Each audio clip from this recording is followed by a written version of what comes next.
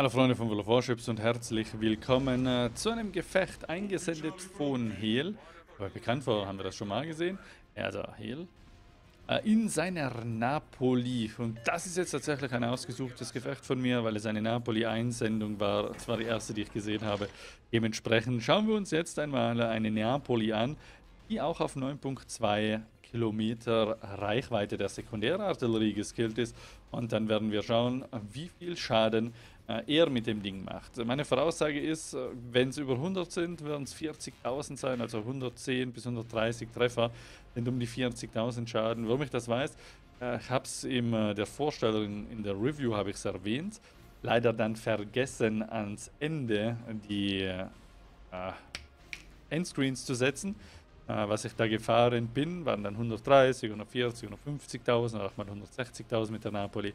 Und in den Gefechten, wo ich nicht nah rangekommen bin, waren es 60.000, 80.000 oder so, wenn ich die sekundäre nicht einsetzen konnte. Dementsprechend schauen wir uns mal an, was Hehl mit diesem Schiff fährt, mit den 254 mm, den 3x3. Mit einem Schiff, dem die Hydro fehlt, aber ja, muss halt mit anderen Dingen hier das ausgleichen. Wendigkeit, Voraussicht. Wir werden sehen. An und für sich äh, kein hässliches Schiff. Für Kohle kann man sich immer holen, wenn man äh, die Möglichkeit dazu hat. Es äh, gibt eh nicht mehr so viele Schiffe für Kohle, die langjährige Spieler sich holen können. Die Thunder ist raus. Das wäre ein Must-Have-Pick gewesen auf Stufe 10. Und, uh, was gab es denn da noch alles? War die Summers? Ah, es war Stahl. Problem ist, ich habe jetzt alle Schiffe mittlerweile, bis auf die für Forschungspunkte, weil ich zu faul bin, die zurückzusetzen also die Schiffe zurückzusetzen, die Linien, um dann nochmal hochzufahren, weil Wargaming viel zu schnell neue Linien rausbringt und ich habe noch Linien zum Hochfahren und ja, wisst ihr, das ist ein Fluch, ein Segen, leider. Dementsprechend sind die Forschungspunkte Schiffe leider schwieriger zu bekommen als alles andere für mich. Ja, er sollte übrigens was mit dem Sound komisch sein, bitte schreibt es mir in die Kommentare. Wargaming war der Meinung, dass wenn das Spiel crasht, alle eingestellten Dinge auf Null gesetzt werden. Bedeutet die Auflösung, Kraut und Rüben, die Toneinstellung etc. Es könnte also sein, dass die Musik zu leise oder äh, zu laut ist. Der Schuss zu, leid, zu laut, zu leise. Ja, äh, wenn das Gehirn leise und laut kombiniert, dann wird es leid. Also wenn es zu leid ist, äh, dann sagt es mir, kann auch zu äh, lause sein. Ist alles möglich, tatsächlich. Dementsprechend einfach bitte in die Kommentare schreiben, dann weiß ich Bescheid. So, Hell pusht hier auf die Seite. Ist natürlich ein ideales Gefecht, wenn kein Flugzeugträger mit dabei ist. Und je weniger DDs, desto besser. DDs sind natürlich ideales Ziel für die SAP-sekundäre Artillerie. Und ja, das äh, wurde hin und wieder auch übersehen in den... Uh, da kommen die Torpedos. In äh, dem Review, wenn ich über SAP gesprochen habe, hieß es dann, aber hat ja nur HI und AB. Warum wird so viel über SAP gesprochen? Weil die sekundäre Artillerie, das Besondere an diesem Schiff, in SAP-Munition angegeben ist. Torpedos hier tatsächlich nichts Besonderes, sind langsam Italiener Torpedos. Dementsprechend habe seltenst was getroffen, nur in einer Entfernung, naja, wo man vielleicht besser nicht hätte hinkommen sollen, haben die sicher getroffen. Ja, so ist es halt. Das sind Notfalltorpedos für mich oder eben solche Wegfahrtorpedos, die dann auch angenehm sind. Smoke musste leider genutzt werden zum Drehen und dann wird HE geschossen, was halt meistens effektiver ist bei dem Schiff als die AP, wobei die AP auch gar nicht schlecht ist. Man müsste eigentlich ein bisschen abbremsen jetzt. Das müsste, ja, macht Hehl sogar, denn die Venezia pusht. Und was wir wollen, ist, unsere Sekundärartillerie einzusetzen. Das ist Christenpflicht. Ne? Ab da müsste die Venezia große Probleme haben, denn sie kann uns mit ihrer SAP viel besser... Na, jetzt abbremst doch ab! Es sind doch nur noch 0,3 Kilometer. Come on! Brems! Es. Ich weiß, es lässt, ich kann es nicht zugehen. Aber da kommt dann wieder der Smoke, ne? Und du hast noch eine Shimakase, die da alles aufmacht. Komm, bevor die Venezia checkt, was für einen Fehler sie gemacht hat. Ich würde sogar die Sekundärartillerie kurz ausmachen. Nein, bremst! Ich kann es nicht mehr ansehen, das wären schon 30 Sekunden hier.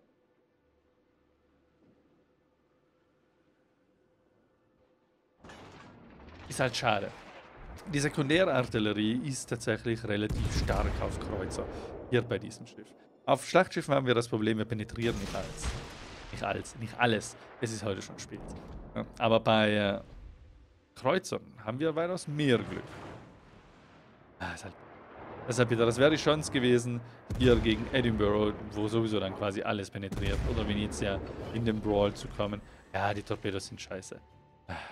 Die Overpens hier gehen auch auf den Sack. Eine Zitadelle war zumindest mit dabei. Und drei Pens und drei Overpens. Also es kommt mit der, es kommt mit der Zeit. Ne? Und auch die Kansas hat ja nochmal richtig reingehauen. Aber ah, unsere Sekundärartillerie. Also ich hoffe, ich erwarte mir, dass dieses Schiff mit Sekundärartillerie einen guten Flow bekommt, dass wir ein Gefecht sehen, äh, wo ihr weit ab von meinem Replay auch mal ein bisschen Sekundär-Action seht. Und ich glaube, jetzt wird hier gebrawlt unter Anführungszeichen gegen die Venezia. Die Venezia möchte natürlich nicht in die Sekundärartillerie kommen. Das ist dann, ich will nicht sagen Todeszone, aber wir haben hier 3x3 frontal. Die Venezia hat die, also 3x3, die Venezia hat die 3x3 frontal. Sie zeigt jetzt auch genügend Breitseite, um ja, Schaden zu bekommen von unserer AP theoretisch. Aber unsere Sekundärartillerie wird dann auch noch Schaden machen, wenn sie wieder besser reindreht. Das wird sie. Da, jetzt ein bisschen zeigen. Oh, jetzt kommt von der anderen Seite die Fletcher. Das ist natürlich das Gold. Wir können auf beiden Seiten schießen. Hydrakustische Suche wäre jetzt praktisch. Äh, der Smoke, dann dürfen wir nicht mehr mit der Hauptartillerie schießen, ansonsten wirkt das gar nicht mehr. Natürlich kontert die Venezia hier ja, die Fletcher wird nicht torpediert haben, weil sie hinter der Insel ist. Die Venezia wird auf jeden Fall torpediert haben. Alles entscheidende Frage ist nur, ja, wo kommen die Torpedos? Da sind die Torpedos und wir schaffen es noch rauszudrehen, weil das Ding echt wendig ist. Die Venezia hat geschossen und ist dadurch offen. Wir haben jetzt für 20 Sekunden Sekundärartillerie-Power und wir sollten es auch dabei belassen. wir werden, schau mal oben, 31.000 und ja, immer noch 31.000, 32.000, 33.000. Nur Sekundärartillerie. Ja, wenn wir ein bisschen Spot hätten, wäre geil. Und da kommt die Fletcher. Jetzt wird es gefährlich mit den Torpedos. Diesen Abwurf soll sie nicht geschafft haben. Oh, da kommt die gute Salve an. Ein Treffer. Ein Treffer Sekundärartillerie. Da, jetzt Fight Venezia, die nimmt einen Torpedo mit, zeigt ein bisschen breit. AP müsste man drin haben, das wäre geil. So haben wir einen Brand, das ist praktikabel. Torpedos von der Venezia auf der linken Seite gehen vorbei. Treffen wir hier vielleicht mit dem Lahmarsch-Torpedos in den selbigen? Nein. Venezia weicht aus, übersteuert, nicht schnell genug, schafft es auszuweichen. Torpedo um Torpedo. Wie schon gesagt, die Torpedos sind leider nicht sehr geil. Es ist jetzt auf die Fletcher, die äh, sekundäre Artillerie. Wir machen Treffer um Treffer. Fletcher ist raus. Jetzt wieder auf die Venezia. Da ist tatsächlich höher ziehen, bitteschön. Weil es hat keinen Sinn. Wir sind jetzt hier nieder. Ja, zum Glück äh, gab es genügend Splash hier nach oben und Wargaming jetzt nicht so genau genommen. Wir haben Sekundärartillerietreffer und 80.000 Schaden. Mit HE geschossen, zu viel Schaden gemacht, einen Brand gemacht, einen Torpedotreffer und die Sek hat es dann gefinisht. Super cool. Das ist natürlich praktikabel. Die Napoli ist wieder eins der Schiffe, die im 1 vs 1 am besten ihre Stärken ausspielen kann oder, wie in der Review gezeigt, die ich auch am Ende nochmal verlinke, äh, über Inseln mit der Sekundärartillerie arbeiten. Und wenn man es gescheit anstellt, dann können locker 40 oder auch 50.000 Sekundärartillerietreffer drin sein. Wenn man ganz perfide ist und mit einem DD spielt, der einen auch noch smokt in Reichweite und dann spottet, dann hat man Spaß ohne Ende. Wird natürlich geschmälert durch Schlachtschiffe, die darauf warten, dich rauszusnipen, während man vom feindlichen Radar aufgemacht wird. Und es gibt Radarkreuzer zuhauf. Wir haben hier natürlich ein Bombenmatchmaking. Wir haben eine Petra Pawlowski im Team. Theoretisch eine Edinburgh, die auch Radar mitnehmen könnte auf 10 Kilometer. Aber die Petra mit den 12 Kilometern ist der vorrangige Feind und der Rest hat einfach nichts dabei. Gar kein Radar ist mit dabei. Weder ein Flugzeugträger noch ein Radar noch 5 DDs werden das Spiel theoretisch zur Hölle machen, während die Schlachtschiffe hinten am Arsch der Welt sitzen und aus 20 Kilometer Reichweite auf eine arme Napoli schießen, die sich nicht wehren kann. So ist es halt. Dann Sonetti ist hier drauf. Das ist relativ schlau und ich glaube, ich werde meinen auch hier raufsetzen, denn kann ruhig, nochmal nachschauen, ich glaube, es kann ruhig der Kapitän der, nein, doch, der Kapitän der Venezia und der Napoli werden. Da muss ich noch einmal vergleichen, weil wir haben beim Kapitänskill keine Möglichkeit, sekundär Artillerie Reichweite zu skillen. Das geht quasi alles über das Modul. Und das ist auch ein großer Vor- und Nachteil, für den es ein eigenes Video geben wird, auf dieser oder nächster Woche. Habe es mir mal aufgeschrieben, weil ich gerne darüber ein bisschen sprechen würde, einen Talk machen würde, worüber viele Spieler sich aufregen, aber ich gar nicht so schlimm finde. So eine eine Win-Win-Lose-Situation, könnte man fast sagen. Wir sind jetzt bei 100.000. Das ist äh, mehr auf Haie als auf AP gespielt. Ist auch praktikabel. Die Haie will ich sagen, ist wertvoller auf dem Schiff, weil die AP hin und wieder ein bisschen rumspinnt und die Winkel mit 45 Grad bis 60 Grad die normalen AP-Winkel sind, also nichts Spezielles. Dementsprechend muss ein jeder selbst abwägen. Man kann das Ding natürlich auch auf Reload spielen, ist aber ungemein schwieriger. Ich habe es auch auf Reichweite. Wie gesagt, die meisten Gegner fahren gerne weg und äh, dann haben wir ein Problem. Ein Problem, dass wir nicht hinterherkommen, weil das Schiff schnell ist und wenn wir dann dran sind, dann kann zu viel vom Feind auf uns schießen, was wir auch nicht wollen. Ja, alles scheiße. Wenn man einen kurzen hat, wie gesagt, ist alles scheiße. Dann reißt auch die Dicke nicht mehr raus. Muss man einfach sagen. Ja, es wird ja mit Haie noch die Bismarck abgefahren. Bin gespannt. Hoffe, wir bekommen noch ein bisschen Sekundärartillerie-Action. Kann mir vorstellen, dass Hel jetzt einfach reinfährt hier, gegen die Vampire kämpft oder Bismarck, äh, die da noch ankommt. Phantom Nost. Ja, ist die? Ne, die andere, die hier, also äh, Drakai, Drakelhai, keine Ahnung, dass die reinfährt und uns so zugute kommt, dass sie uns entgegenfährt, während äh, wir den anderen quasi hinterherfahren. Ich hätte gern tatsächlich ein bisschen mehr Sekundärartillerie. Ich habe die Napoli ausgewählt in der Hoffnung, dass wir kontrollieren können oder nachschauen können, wie viele Sek-Treffer für wie viel Schaden verantwortlich sind. Denn die Napoli hat keine ungenaue Sekundärartillerie. Ja, ich weiß, großes Problem sind, ist äh, die Pen der 90 mm auf äh, Schlachter zum Beispiel, aber wir penetrieren immer die äh, Superstructure bei jedem Schiff. Also das ist schon mal praktikabel. Ist natürlich beim Schlachter verlustiert sich ein bisschen was, was halt nicht die Superstructure trifft oder wenn es eben schon gesättigt ist. Auf DD ist und ist natürlich auch auf äh, Kreuzer, vor allem der britischen leichten Kreuzer weitaus besser. Aber man kann ja nicht alles haben. So ist es halt. Man kann nicht alles haben. Sonst wäre das Schiff wahrscheinlich zu stark. Vielleicht sollte ich noch anmerken, habe schon mal gesagt bei der Vorstellung der italienischen Schlachtschiffe. Genau das hätte ich mir für die italienischen Schlachtschiffe gewünscht. Gewünscht. Sekundärartillerie mit SAP. Und äh, dann gerne auch nicht nur 90 mm, sondern wenn mehr mit die Pen passt, 32 mm Pen auf Stufe 8 bis 10 bekommen und äh, Stufe 7 halt dann die 26 mm Pen auf Stufe 6 oder darunter, dass wir bleiben. Ist nicht so tragisch. 26 mm Pen, das wird passen, dass man da 90 mm bekommt äh, von Geschützen. Und sie dann quasi die Italiener mit schlechtem Sigma, aber einer relativ guten Panzerung und Anführungszeichen, wenn das Kaliber nicht zu groß ist, wenn die dann reinwirft als zweite Variante der Sekundärartillerie-Schlachtschiffe. Dann schauen wir uns das an. Wie viele italienische Schlachtschiffe sehen wir in den allermeisten Gefechten? Sehr, sehr wenige. Das hat natürlich seine Gründe. In einem Gefecht, wo Montana, wo Kansas Conqueror, ne, die Reichweiten, äh, Schiffchen, die Amerikaner, also auch Yamato ist noch mit dabei, das Gefechtsgeschehen dominieren, weil Heinz und Kunz noch weiter hinten sitzen wollen, weil Heinz äh, nicht mehr so viel Ketchup macht wie früher und deswegen Zeit hat für mehr World of Warships. Kunz äh, dazugekommen ist, weil Heinz gesagt hat, äh, ja, heute habe ich einen Bock, lass saufen, lass hinten sitzen müssen wir uns nicht bewegen. Ich bin eh besoffen, ist alles verschwommen, lass auf Entfernung spielen. Äh, ist unsere Reaktionszeit relativ egal. Also beim Ziel natürlich. Und so passiert es halt, dass man äh, Probleme bekommt. Um mal gelinde gesagt äh, das zu erwähnen. Ja, also ein Sekundärartillerie-Schiff, das der Meter widerstehen kann, wäre schon nicht schlecht. In Napoli ist es vielleicht nicht ganz, aber wir können uns ja nähern. Jetzt bin ich gespannt. Die Monty sollte eigentlich den Nahkampf mit diesem Schiff suchen. Wegfahren wäre fatal für ein Schlachtschiff Stufe 10 gegen einen Kreuzer Stufe 10. Natürlich, wenn sie weiß, dass man auf 19,2 Kilometer nicht ranfahren soll, dann äh, wird es schwieriger. Weiß sie das? Oder dreht sie einfach das Prinzip ab? Ist äh, wie Hel hier tatsächlich mit der Wendigkeit der Napoli sehr viel Feindbeschuss verhindert. Das muss er sich noch abgewöhnen, das muss er noch äh, quasi verändern in der Artillerie. Ding drauf. Er darf nicht schießen, wenn Smoke ist. Ansonsten bringt ihm natürlich der ganze Smoke nichts. Man hätte jetzt hier theoretisch auch. Also jetzt hat die Conqueror das erledigt. Man hätte jetzt hier theoretisch auch äh, aufhören können zu schießen. Oder gar nicht schießen, sondern nur die Sekundärartillerie arbeiten lassen. Das würde theoretisch auch bei der Montana funktionieren, wenn man näher dran wäre.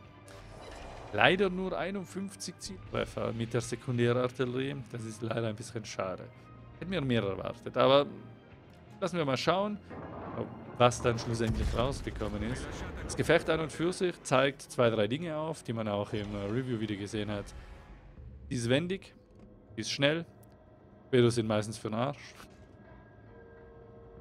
Und mit Haie macht man über Feuer mehr Schaden, als wenn man immer mit AP schießt. Habe aber gerne mit AP geschossen, weil AP zu eruieren ist meistens ein bisschen schwieriger. So, jetzt haben wir wieder ein Schnellfeuertalent aktiviert. Ausgezeichnet. Und wir sind wieder knapp außerhalb der Reichweite. Wie gesagt, da muss er noch gut drauf aufpassen. Diese zwei Dinge. Wenn er auf 9.3 Kilometer ist, so fahre er doch noch 200 Meter nach vorne. Das gegnerische Schlachtschiff wird gleich schlecht oder gleich gut treffen. Aber unsere Sekundärartillerie schießt drauf. Und je näher wir dran sind, desto genauer natürlich. Das Cap kriegen wir sowieso nicht durch. Und solange wir nicht zu sind, äh, wird jemand dann auch auf uns schießen. Wir haben keinen Smoke mehr. Hat er übrigens äh, Inspekteur geskillt? Mal noch schauen. Glaube nicht. Glaube nicht. Komm, sind wir bei 70 Sekundärer. Gib mir 100. Gib mir 100 überlebe, solange dass wir 100 haben. 160.000? Ja, zu kurz. Zu, kurz, weil sie zurückfährt. Ja, das ist so klar. Ich meine, die Sekundärarterie trifft da. 166.000. Ja, nochmal 2.000 mit der Sek. Nochmal ein Tausender. Nochmal ein Tausender. Ja, es kann auch der Brand sein, das ist das Problem, was hier noch so reinzimmert. Jetzt würde ich tatsächlich auf AP wechseln. Ich würde nicht auf die Zitadelle ziehen, die ist quasi nicht zu treffen bei der Montana, nicht mit, nicht mit den 254. Ja, aber ich würde auf, die, auf den Panzergürtel schießen und 10.000er Salben schießen, das geht. Das geht easy. 190.000 Schaden, das ist mir auch in meiner Napoli nicht gelungen tatsächlich. Zwei zerstört, einen Treffer mit Zitadelle. Wahrscheinlich wenig high, das werden wir gleich sehen. 1800 Punkte bei einem Sieg, ja, ein sehr durchwachsenes Gefecht. Ne? 1826 Punkte für einen Sieg ist jetzt nicht besonders krass. Was mich aber interessiert und was euch wahrscheinlich auch interessiert, ist einerseits die Sekundärartillerie und da haben wir 40.000 Schaden auf 16 Treffer. Wäre noch cool, wenn das aufgesplittet worden wäre. Und schaut euch das an. Wir haben knappe 400 Granaten verschossen und wir haben ein Viertel davon getroffen und das auf so gut wie maximale Reichweite. Hätte ich das doch beim großen Kurfürsten, dann wäre ich fast zufrieden. Da kommen wir aber eher in einen 10 bis 15 Prozent Bereich, wenn überhaupt. 25 Prozent. Das ist schon sexy. Und natürlich die Brände. 45.000 an Bränden. Allein das reicht schon aus, um den Durchschnitt mit dem Schiff wahrscheinlich zu erfüllen. Dann hätte die Pen nicht sein müssen generell von AP und von HI. Das ist einfach brutal. Hier sehen wir die Creditpunkte. Hier sehen wir den Kapitän. Doch, Inspekteur ist ges geskillt. Er hat hier äh, den, äh, das RPF geskillt. Das ist praktisch. Ich habe tatsächlich hier diesen Skill genommen, weil, äh, naja, wenn ich nah dran bin, äh, will ich, dass meine Sek schneller schießt. Dass meine, also wenn ich, ich glaube, das ist der Skill, wenn ich in Sekundärreichweite bin, dann bekomme ich äh, weniger Nachladezeit. Ich habe mir gedacht, ist relativ praktisch. Weil ich bin eh meistens weit vorne, mein Team ist weit hinten und dann will ich auch davon profitieren. Aber ja, ja, skillen kann man das Ding, wie man möchte, aber das wird halt so in diese Richtung gehen. Luigi Sansonetti profitiert hier von etwas, wofür wir nicht profitieren und äh, von dem eigentlich auch eher weniger, weil ein Punkt, den man quasi woanders hinstopfen könnte auch. Aber praktikabel auch eine andere Skillung zu sehen. Hier haben wir das äh, sekundäre Artillerie-Modul und auch das habe ich hier drin und natürlich auch die Reichweite. Er hat äh, hier, Hel hat äh, Doppelruder drin. Damit geht er weiter auf, als wenn er, also hat einmal das, ja, hat Doppelruder drin. Damit geht er weiter auf, als wenn er Concealment mit dabei hätte. Dann geht man auf 10.3 auf. Bedeutet, man hat nur einen Kilometer zu überbrücken. Ich habe tatsächlich das Concealment drin, damit ich auch hier rankomme, weil es für mich einfach angenehmer ist. Ich habe es mit Doppelruder, habe ich es auch gespielt, dann geht man aber meistens über die Hauptartillerie. Ich wollte aber unbedingt die Sekundärartillerie pushen, weil es einfach sehr, sehr praktikabel ist. Und tatsächlich ist die Napoli auch nicht, also ohne Doppelruder, mit, äh, also weitaus wendig genug für mich. Ist natürlich Geschmackssache. Das ist so Mogami-Style, wo man auf Reichweite bleibt und damit gut arbeitet und so gut wie gar nicht getroffen wird. Wenn man auf 10 Kilometer spielt, braucht man das Doppelruder weniger. Meine Meinung. Was sagt ihr über die Napoli? Habt ihr sie euch gegönnt? Ist ja interessant für euch. Wie gesagt, hier leider nicht äh, 1 zu 1 Sekundärspielweise. Ist sehr, sehr schwierig umzusetzen. Aber genau deswegen finde ich das Ding auch interessant. Ich sage vielen lieben Dank fürs Zusehen und wir sehen uns damit. Ciao.